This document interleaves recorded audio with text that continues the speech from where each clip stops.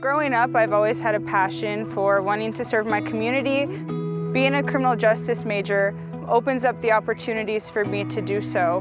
One professor in particular that has really contributed to my education and has been a huge mentor to me would be Dr. Davidson. I was so blessed to have the opportunity to have an internship with her through one of the correctional facilities here on Oahu. This internship allowed me to gather case files, um, different studies, and different folders for previously incarcerated men and women for nonviolent drug offenses.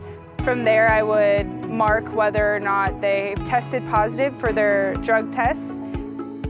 After graduating, I plan on taking more of a route with the public administration, hopefully maybe one day starting a nonprofit for people who are just incarcerated and are now out and don't really know the next step to getting a job or career or kind of turning their life around in a sense. I think having the criminal justice background is crucial. It kind of gives me an insight on minorities and injustices in the system and it's opened up this whole new world of opportunities for me and a new passion in a sense.